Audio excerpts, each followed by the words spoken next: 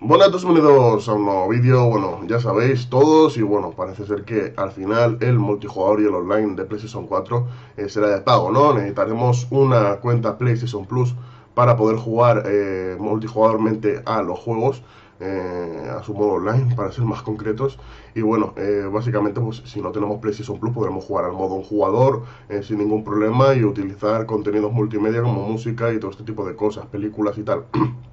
Pero a la hora de jugar a un modo multijugador de un juego, pues necesitaríamos PlayStation Plus.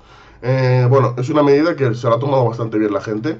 Eh, yo la verdad eh, lo comprendo porque PlayStation Plus la verdad es que ofrece muchas ventajas y además se comparte entre PlayStation Vita, PlayStation 3 y PlayStation 4, con lo cual el que vaya a tener los tres sistemas va a rentar, pero vamos, de sobra lo que es el Plus, porque son unos 50 euros al año. Ahora mismo lo tenéis a 50 euros al año en PlayStation 3.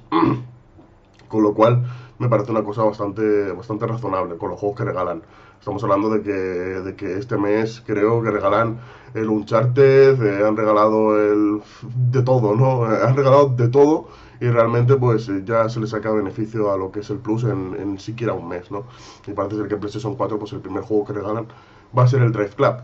no sé si el primer juego o de los primeros, con lo cual pues bueno, ya es un juego que va a valer 60 euros que con 50 te lo puedes comprar.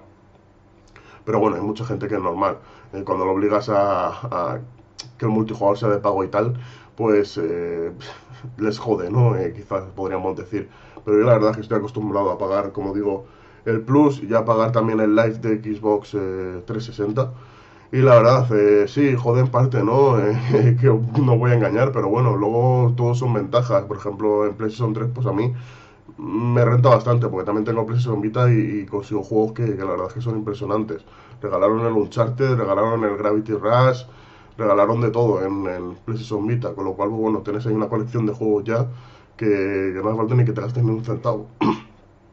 y bueno, eh, ¿qué decir? Bueno, la noticia básicamente es que bueno, con la suscripción a PlayStation Plus parece ser que podremos jugar, eh, bueno, será preguntada a su Yosida que si eh, que si teniendo el PlayStation Plus en una cuenta podríamos jugar en las demás multijugadormente.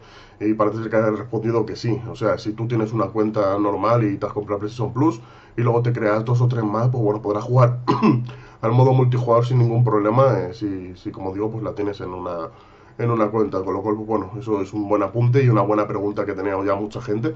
Y bueno, como ya sabéis, eh, Sony no utilizará ninguna política de DRM, ni de segunda mano, ni nada por el estilo. Además, PlayStation 4 saldrá a un precio de 399 euros, con lo cual es un ahorro bastante importante. ¿Y qué más? Eh, nada más. Y bueno, chavales, espero que os haya gustado y nada, nos vemos en el próximo vídeo. Hasta la próxima, chao.